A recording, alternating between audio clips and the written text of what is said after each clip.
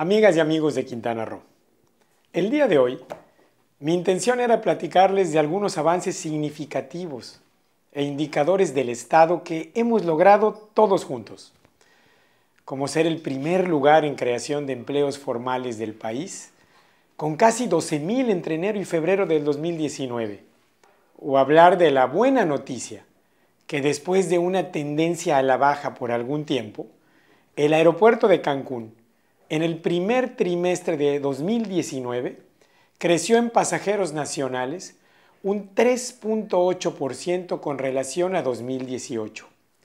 Y solo en marzo creció 3.3% en pasajeros internacionales. O en Cozumel, donde el aeropuerto reporta un crecimiento anual en el primer trimestre de 2019 de 10.3% en pasajeros nacionales y un 5.1% en pasajeros internacionales.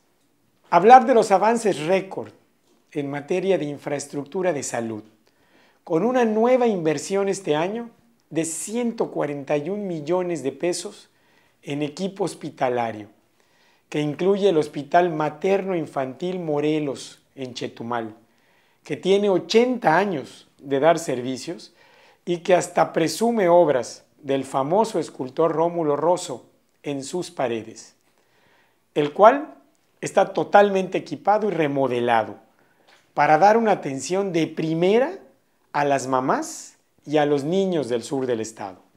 O hablarles de educación, donde invertimos en mejorar y construir escuelas, la histórica cifra de más de mil millones de pesos por toda la geografía estatal, donde esta semana inauguré una pista de tartán, dos canchas de fútbol de pasto natural, una de pasto artificial y un gimnasio inclusivo al aire libre en la Universidad de Quintana Roo en Chetumal. Mención especial merece el nuevo campus de la UCRO en Cancún, moderno, equipado y listo para atender a nuestros jóvenes del norte del estado. O hablarles que antes del 2016, Quintana Roo ocupaba los últimos lugares a nivel nacional en la métrica de gobierno abierto y transparencia.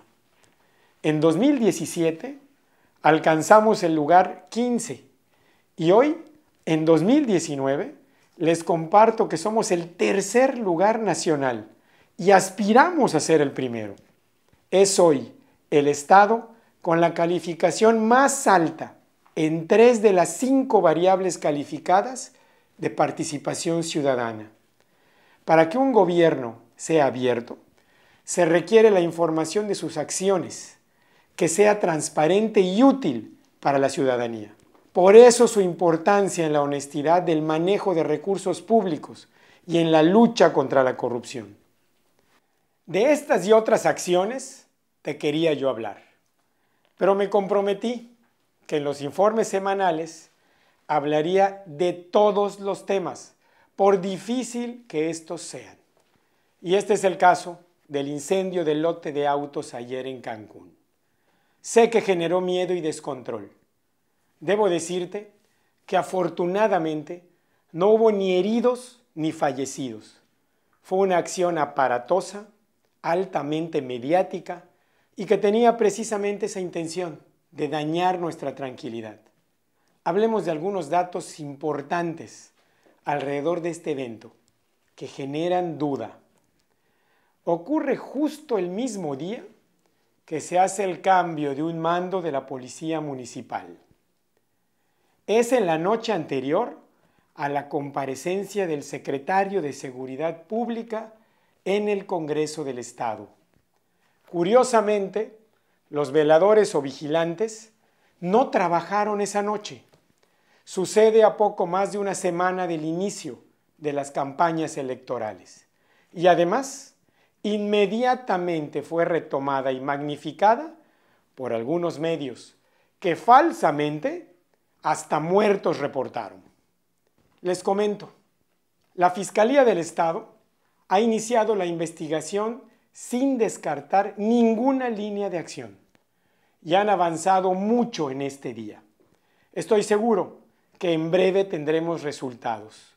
Pues no vamos a permitir la impunidad, que es una de nuestras principales políticas de transformación de la seguridad del Estado, como en los últimos meses se ha demostrado. Te pido, no permitamos que nos separen. Aunque los índices de delincuencia en el país han aumentado, en Quintana Roo hemos avanzado y están bajando, porque el plan de transformación de 10 puntos está funcionando.